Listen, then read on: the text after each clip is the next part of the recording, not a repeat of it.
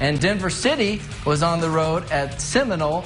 Denver City came into this undefeated, and this was a bit of a, I don't know, sloppy game. It was a slugfest. Yeah, Maybe that's a little the slow to word. start off for sure. Down the left side, be sure to take this play in, folks. Down the left side and in for the touchdown. Indians would kick the extra point, and this extra point would be good. Again, savor this. We'll explain why. Okay, now Denver City, what are they going to do? Backed up a little bit, but not going to do anything with it. The Indians defense swarming.